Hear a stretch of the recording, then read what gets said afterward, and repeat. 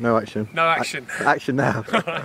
Hello Year 10, Dr B and I are out here. We're just going to show you quickly how to do a line transect.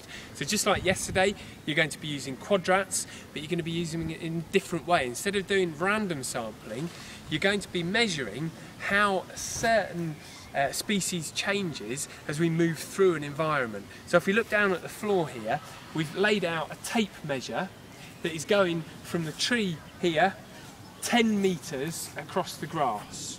So the first thing you do when you do a line transect is you decide which part of the environment you're going to do the sampling on and you lay your tape measure out.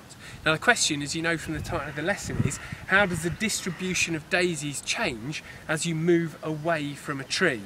So we've got the tape measure set out 10 metres, we've got our quadrat, we've got our tree, now we do our sampling. And this, this bit's dead easy. So we take our quadrat at zero metres from the tree, we place, not throw Sonny, we place the quadrat onto the ground and we count how many daisies there are in that quadrat. So we've got zero at this point. We pick the quadrat up and we move to one metre and we do the same thing.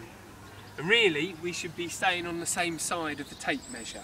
And this time we've got two daisies there. So at, two, at one metre, sorry, we'd record that there are two daisies. And we simply continue moving the transect along the tape measure and we take a sample at every single metre up to 10 metres recording the data. Awesome, sir.